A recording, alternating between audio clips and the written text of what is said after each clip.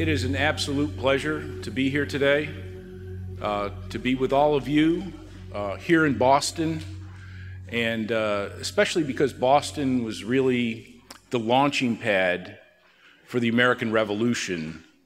And the American Revolution, as you all know, was not just a revolt um, of one group against another, it was an ideological and intellectual revolt that succeeded in undermining the world's number one military and economic superpower. So I think this location has a lot of meaning for me. And it's very ironic that the event occurs right now at a time when politics is really threatening to undermine American society. It's breaking us apart. And I think if you really understand the Austrian understanding of politics, it all makes a lot of sense. And if you want to understand the Austrian meaning of politics, you just have to break it down. In poly, what does poly mean? It means many, it means numerous, a bunch of something.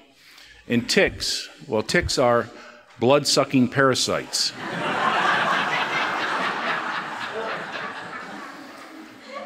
And if you keep that definition, that, that's a scientific definition, if you keep that definition in mind, you'll know how to interpret things like the presidential race, the primaries, the debates, and the, ultimately the election. It's also a great pleasure to be here because I was kind of a last minute um, addition to the program. Not actually last minute, but um, I insisted uh, with Jeff Deist um,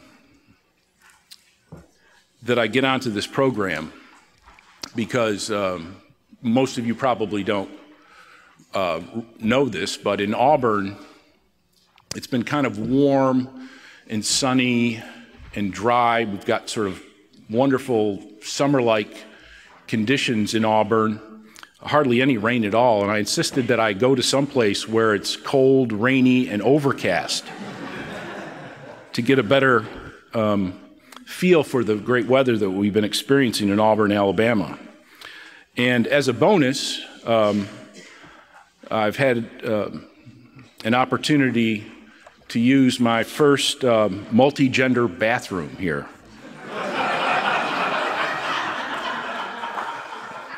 I saw the sign in it. I didn't know what to do. should I stay or should I go? So thank you. Is another skyscraper curse coming? Is the talk I'm going to be giving here uh, today. How many in, people in here have heard of the skyscraper curse? Wow.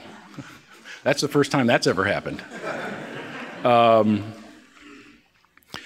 well, I'm going to tell you what the skyscraper curse is and, and uh, tell you is another one coming but first, I want to lay some groundwork because the skyscraper curse is known to many individuals as a forecasting device. Um, and that's not the most important reason for you understanding what a skyscraper curse is or the economics behind it. Because the skyscraper curse tells us a lot about what's going on, not just in a single building, but what's going on throughout the economy and what's causing those changes, which will ultimately lead to a skyscraper curse. But it's not just one building, it's something that's happening throughout the economy. It's happening in my hometown, it's happening here in Boston, it's happening in Asheville, North Carolina. It's happening in Toronto, Canada. Every place I've been, I've seen the same thing happening. So it's happening throughout our economies. And hopefully you'll be able to better recognize it as a result of my lecture. And it's also something that helps you understand the difference between the real economy and the perception of our economy. So, a lot of people out there, including mainstream economists and the mainstream media, are telling us one thing about our economy. They're talking about the unemployment rate. They're talking about GDP. They're talking about economic growth. And then on the other hand, what we look and see in the economy and what other people are telling us is that things are really not that great, that things are really quite negative in many respects, that a lot of people are really, really upset. And that in turn helps us explain why does somebody like Donald Trump have such a message and have that message resonating with so many people who weren't even involved in the political process. And Bernie Sanders, too, a socialist, something that Americans are like, no, no, no, no, no. But all of a sudden, he has an appeal with millions of Americans, where he got just as many real delegates as Hillary Clinton, where millions of young people are saying, you know, I supported Bernie, I like Bernie because of his anti establishment message, and I'm not going to turn over and go to Hillary Clinton. So that tells us that economically and politically, that a lot of people are very upset, and that that real economy that the other group is talking about really does not exist. So the skyscraper curse analysis is going to tell us a whole lot about why there is a difference between that mainstream message and that upstart Donald Trump, Bernie Sanders message. Okay, the skyscraper curse. Basically, the skyscraper curse is an historical association between the building of a world record setting skyscraper and the coming of a world economic crisis. That's the association. Now, that's not directly causation. In other words, the building of a skyscraper does not actually cause an economic crisis. Now, you know, I hear you laughing, but three economists from Rutgers University spent an enormous amount of time collecting an enormous amount of data to refute the hypothesis that building a skyscraper causes an economic crisis. and not only did they come up with some empirical results, but those results were published in a widely respected academic economic journal. Well, that really hurt me. But what was worse was that they sent their publication to the Economist magazine, which is, you know, one of the flagship mainstream uh, economics magazines, and they agreed. They said, yep, I guess, you know, skyscrapers don't really cause these economic crises based on this empirical information. But of course, skyscrapers don't cause economic crises. The real causation, which I've been writing about and talking about, is that monetary policy in the form of artificially low interest rates is what actually causes things like an expansion in the economy. So it's stimulative at first to expand the economy. It also leads to people making investments in things like housing, retail, wholesale, technology. So those, those interest rates do have those effects. And ultimately, once they get the economy revved up enough, people have expectations of those profits and that growth continuing. And so they start to undertake projects like world record setting skyscrapers. So it's interest rates that cause an expansion of GDP. It's those artificially low interest rates that ultimately cause the building or lead to the building of world record setting skyscrapers. And ultimately, that whole process is what brings about an economic, an economic crisis. So it's not construction leading to crisis, it's interest rates leading to both construction and economic crisis. And what hurts me even more is that those three economists from Rutgers University, that's what their results actually said. It's just that their interpretation, so their equations, their empirical, uh, their statistics all validate the theory of the skyscraper curse, but their narrative, what they wrote in their article, said the opposite.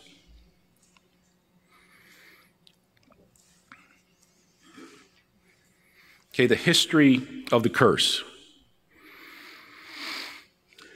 Andrew Lawrence is a, a financial analyst in real estate, put together the skyscraper curse in 1999. That's when I found out about it, was very excited about it, and been writing about it ever since.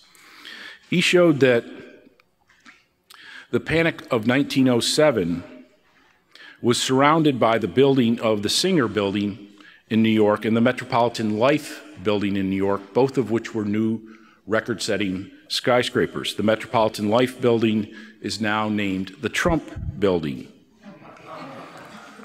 In 1929, uh, the building of 40 Wall Street set a new record. Uh, the Chrysler building in the following year set another record. The, of course, the Great Depression started at that time, and in 19 31, the Empire State Building opened up. So we have, in the case of the Panic of 1907, two records. In the case of the Great Depression, we have three records. Um, and then fast forward to the early the late 1960s and early 1970s. World Trade Tower 1 set a new record in 1970. World Trade 2 set another record the following year, and the Sears building in Chicago set a record, I think, in 1972. So that preceded the stagflation of the 1970s, where we had both, for the first time, we had both high unemployment and high inflation. Things were so bad that we had to go off the gold standard, impose wage and price controls on the American economy. Fast forward to the late 1990s, where we had the Asian contagion um, in places like Singapore, Malaysia, Indonesia, which was a tech bubble. And then later, of course, we had a tech bubble here in the United States. And we also had two new record setting skyscrapers in the form of the Petronas Towers um, and also Taipei 101. So, again, multiple records associated with world economic crises. And then fast forward to 2007, we have the housing bubble in the United States, record setting uh, stock markets in the United States, ultra low um, unemployment in the US. And also, we had the building of the Burj Khalifa Tower in Dubai, in the United Arab Emirates, setting a new record. Um, the, it officially got to the height of a new record in July of 2007 at a time when everything was seemingly great. But by the time the building opened, of course, we were in the a worldwide financial crisis. And there are others too. You can look at national records, you can look at continental records. Um, as a matter of fact, many of the tall buildings in Boston were built during these same boom times. So that if you look at a list of tall buildings in Boston, you'll see a very large number of them were open for business in 1970 and 1971. Again, right before the stagflation of the 1970s, going off the gold standard and all of that.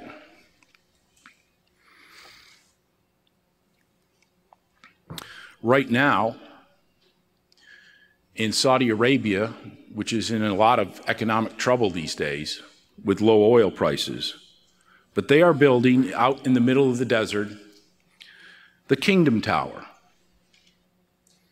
And it's being built by the Saudi royal family.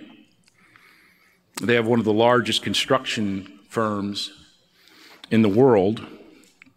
And they are building this Kingdom Tower. It's going to be one kilometer tall.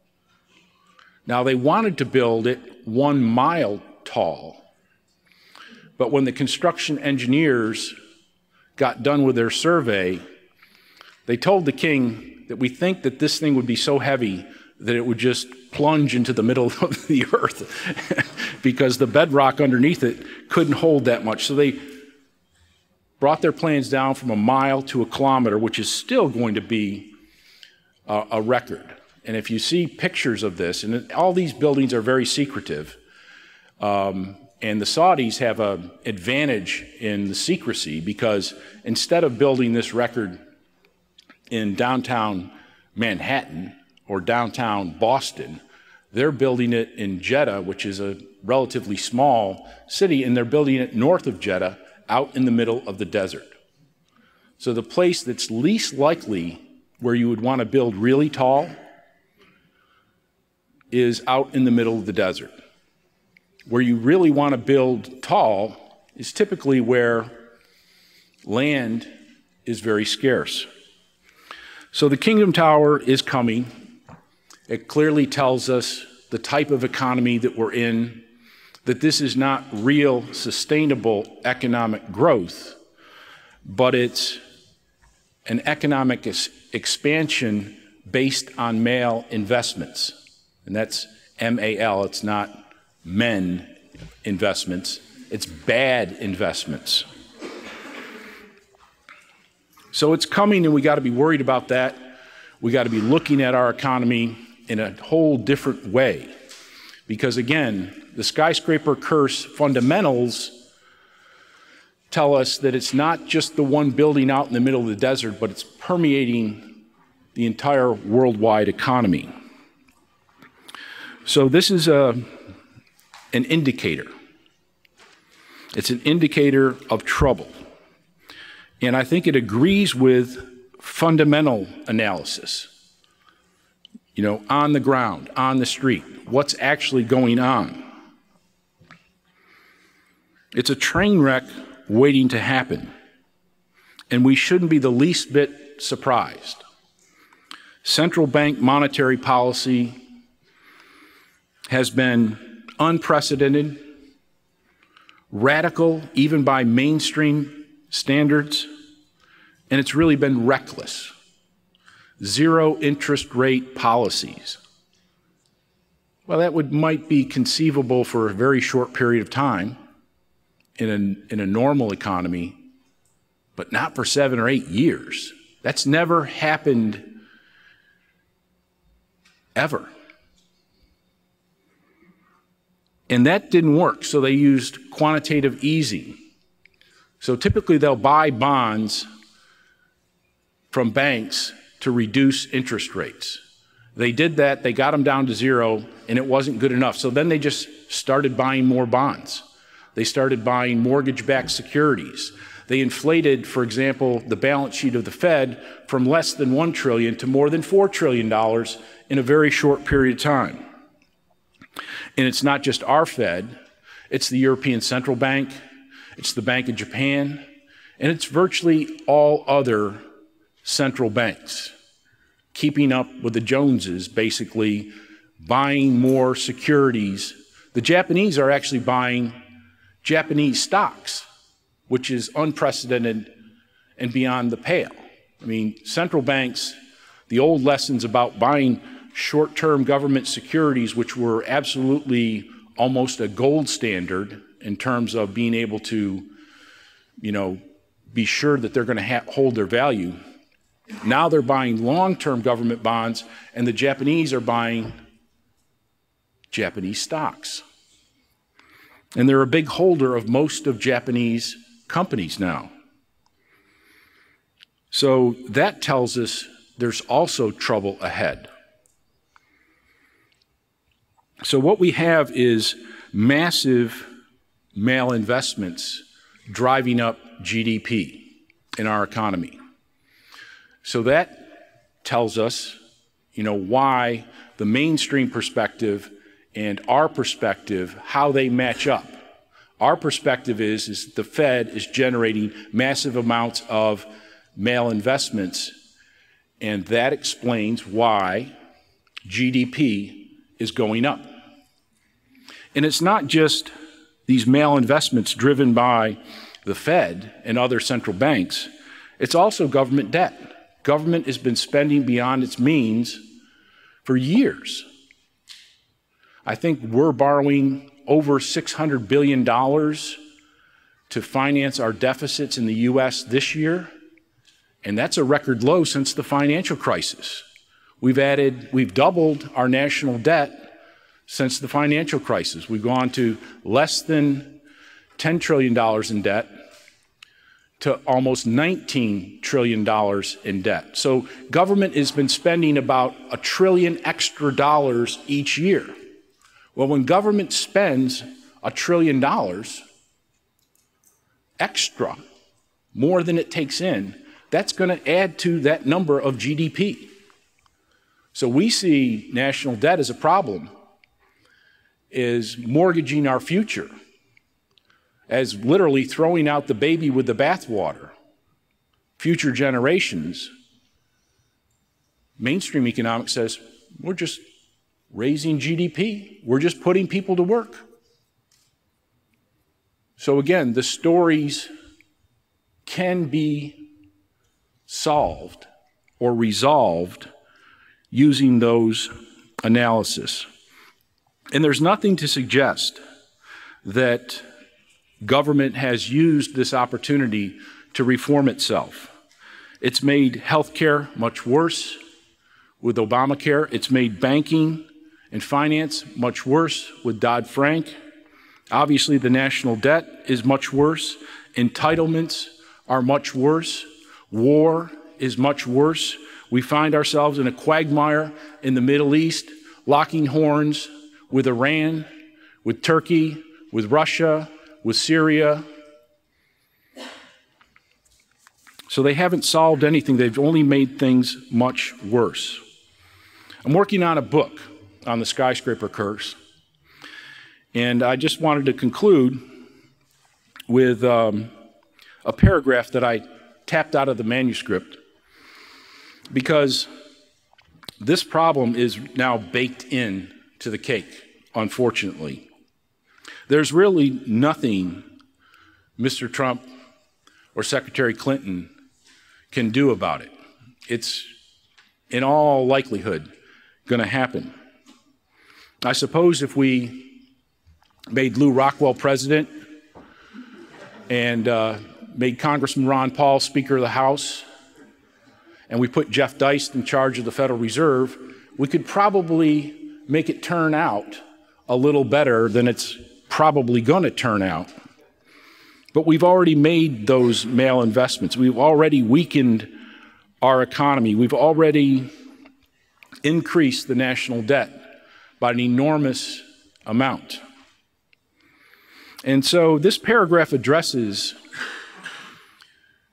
my mainstream critics who say that everything is really doing okay. We've gotten ourselves out of the hole. We've prevented a Great Depression. So get off of our backs. So I did a little calculation. And I'll quote myself. However, as a best case scenario, let us make the heroic assumption that all the government spending was really valuable. In other words, all of that additional government spending that they borrowed the money for was really worth the money they spent it on. So there are no bridges to nowhere. There are no baby killing bombs being made. It's all really good stuff that they're spending that money on. Let's make that assumption.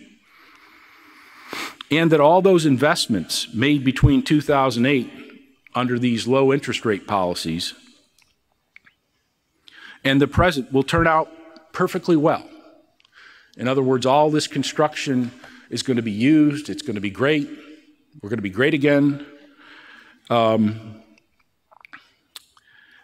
if we take the government's measure of the economy, that is gross domestic product, and adjust the government's measure for the measure their measure of price increases,